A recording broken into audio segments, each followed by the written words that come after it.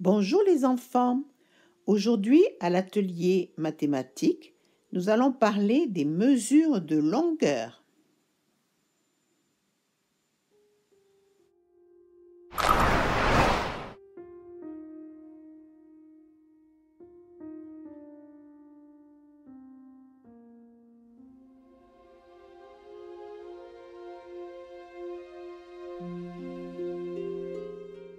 Répète après moi. 9 plus 1 égale 10. 9 plus 2 égale 11. 9 plus 3 égale 12. 9 plus 4 égale 13. 9 plus 5 égale 14. 9 plus 6 égale 15. 9 plus 7 égale 16. 9 plus 8 égale 17. 9 plus 9 égale 18. 9 plus 10 égale 19.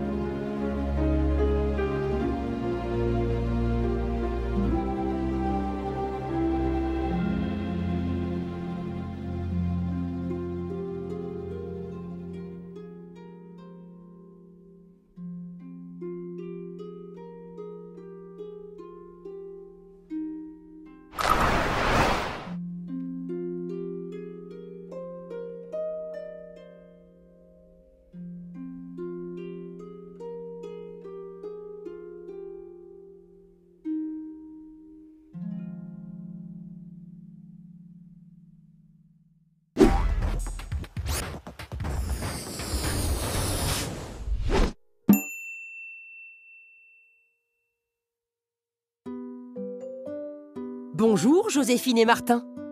Vos cabanes sont magnifiques.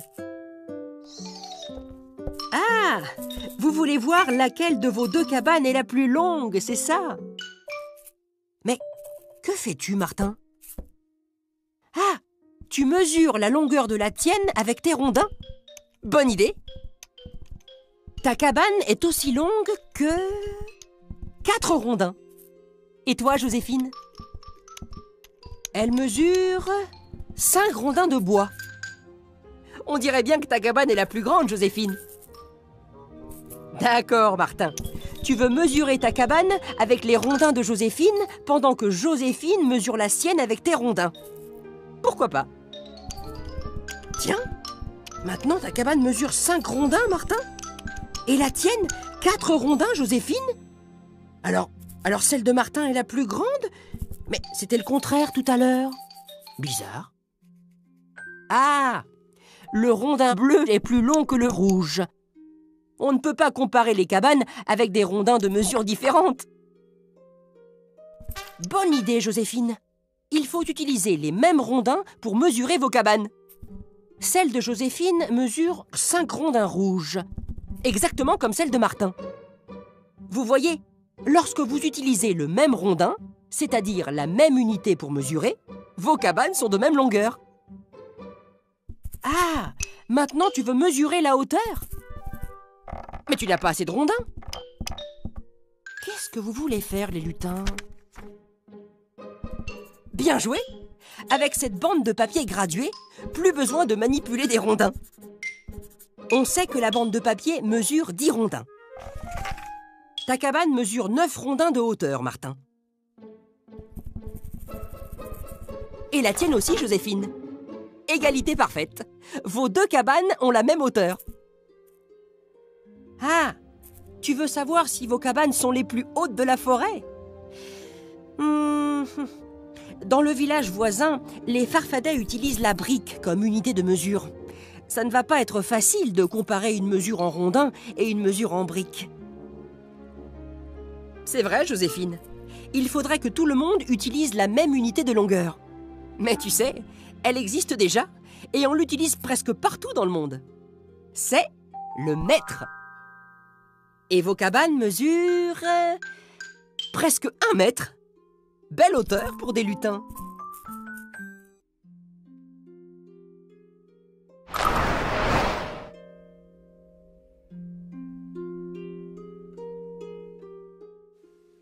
Les mesures de longueur.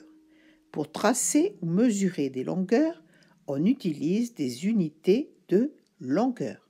Les plus utilisées sont le kilomètre, que l'on écrit km pour des grandes distances, Exemple, Gérard et Marie-Hélène habitent à 25 km du village.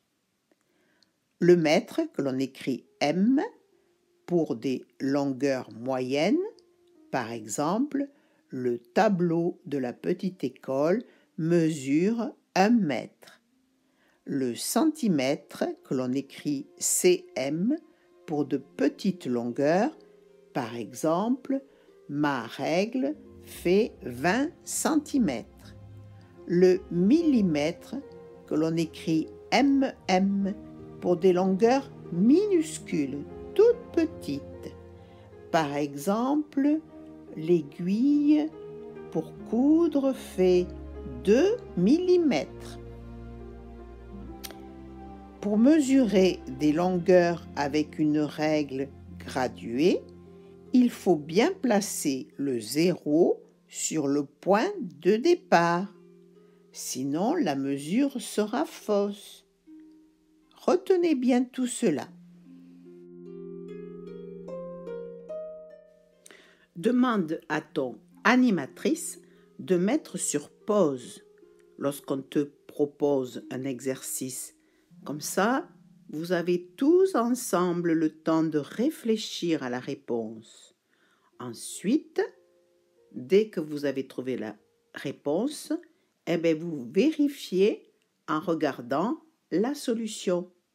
Mais il faut d'abord réfléchir, c'est très important. Après, vous regardez si vous avez fait juste. Et puis si vous avez fait faux, c'est pas bien grave. Comme ça, vous apprenez des choses nouvelles. Allez, au travail.